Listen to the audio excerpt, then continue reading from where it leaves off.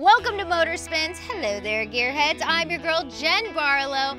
I want to introduce you to my little friend, this Black Wonder, the 2012 328i. This is a year that is highly sought after. Over 400,000 of these bad boys out on the road, and this is something that you could put in your very own garage for like $10,000. To tell you more about it, I'm gonna bring in my friend, Morgan. What are we working with? Two liter turbo engine with 240 horsepower. Lots of torque. I was obsessed about the motor. The transmission's pretty good. It's not too heavy. Good car. Yeah, it's a good car. So Let's pop the hood. I feel like we need to showcase it, show it off a little bit. Just jumping off the page, you have what, 240 brake horsepower. Yeah, yeah. How much torque did you say comes stock in this?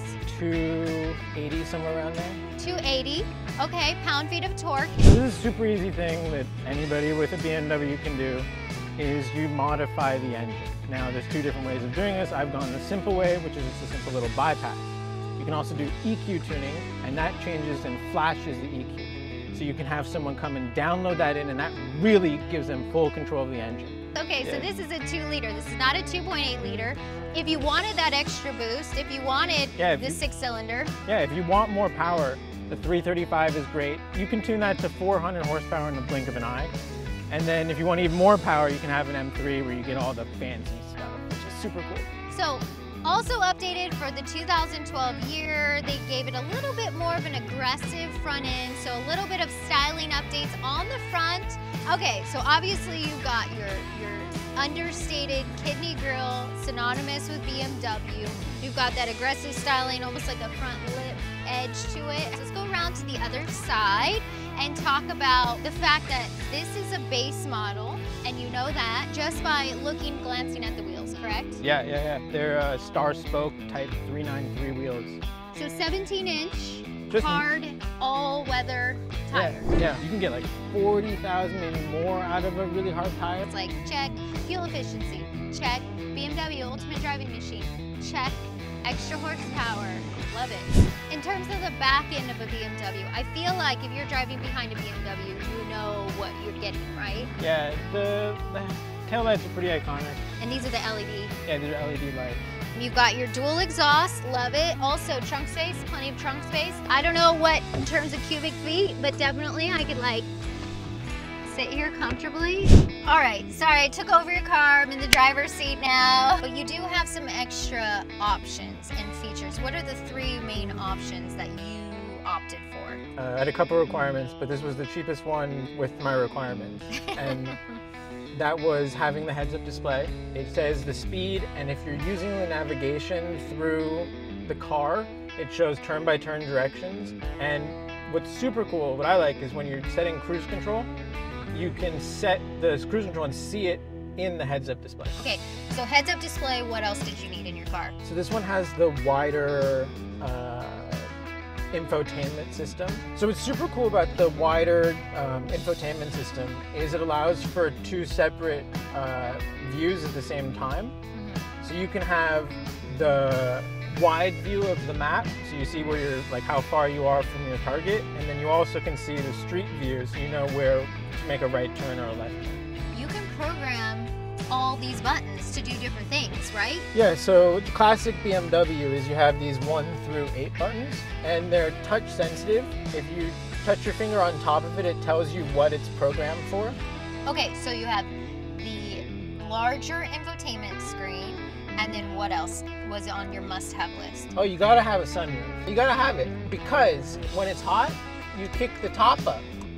And BMW put these little grills in to allow airflow through the top, which Yeah. is super cool. Yeah, it's super nice. They also have that one-touch system, right? Yeah, one touch close, one touch open. And uh, a lot of these cars have it, but it has the aero brake in the sunroof, so it doesn't bump, bump, bump, bump, bump. Yeah. And if you really are giddy and you don't care about the sound, you can go back a little extra. They do have an option with this base model to have a little bit more performance steering wheel. It has no like thumb rests or anything. It's completely smooth all around. It's a little clunky on the bottom, but it's cool. In this model, the 2012, we added a drive setting. So we've got Sport and Eco Pro now. So the EcoPro um, changes the throttle mapping. So instead of a small movement giving a lot of throttle, you make a bigger movement for the same input. So it's easier to go slower. Comfort's the usual, but if you're driving a little more performance, you want the sport. So you have the more accelerated throttle map. Also, it hardens up the, the steering wheel and creates more of an input, giving the feel of a performance car. When you're performance driving, I'll be in sport, and then I'll be in manual shifting mode, so you can just hold the gear and it's not shifting randomly. Yeah. The other thing I noticed too, okay, so in a lot of new cars, you have that automatic start stop that you either love or hate, but in 2012, I feel like people didn't love the start stop. I feel like it's gotten, it's smidge better, but what did you do to combat that? BMW has a secret agreement with their customers that they will code the car special to make it permanent. Whatever you set the start stop to, it stays no matter how long until you press it again. So, in other words, if I go to my local BMW dealership and I say, hey friends, I want to start stop off, can you hook your sister up? They will do it. For sure. Cool. Well, thanks for showing me your ride. Do you mind if I take it up for a little test drive around the block? Uh, as long as you bring it back. okay, so let's talk about the sound for a second. This is not a diesel, but it's giving me some diesel vibes. Heard that before? Yeah, the two liter has a ticky low sound. It just idles and it's ticky low. It's really smooth. You don't feel it. What else do people say about this four cylinder? What do you say about it? It's got good low end torque and it pushes. It revs high enough. It's like 6,500 RPM or something. So low end torque, high end performance. Yeah, and the eight speed gives a great like option to what gear you want to be in. Yeah. If you want, you can put, you take the shift lever and push it over to the left. Now you're in sports uh, transmission. And okay, so no paddle shifters. So if you want to put it into your manual select or manual shift like experience, you have to do it on the 2012. On other subsequent models, you would have the paddle shifters here, but you act like a... If you look really hard on the internet, you can find some of these cars with a paddle. Okay. And let's say you're really passionate and you want a paddle, you can do it yourself for $800 or so. She's cutting through, having a little fun. Everybody hold on to your hats. I'm gonna do a turn. Don't throw up. I mean. Oh yeah, traction control. Yes. Kick it, yeah, woo! What's our fuel efficiency? Are we in? 23 right now, and I've been pushing it for the last couple days. Okay, so 23. So what does it normally get? What's your What's your EPA? What's It- your normal fuel that It you get? can do 26, and I've seen 28 from highway, but 25 is about average. All right. Well, thanks for letting me drive your car. Thanks for trusting me. You're welcome. Are you gonna let me drive your car?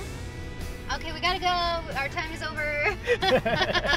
All right, I brought it back in one piece. I feel like this is the ultimate driving machine to put in your garage. Ultimate daily driver, you Yeah. agree? Yeah, yeah, for sure. It's it's the best daily driver I can think of. Yeah. Okay, so we want to hear your thoughts. Let us know down below in the comments what's your ultimate daily driver. Oh yeah, what cool. other daily driver should we feature here on Motor Spins? And of course, don't forget to subscribe and turn your bell notifications on and tell all your friends who are car people like us to come back and check it out. Thanks so much for watching. Till next time, my friends, I'm Jen.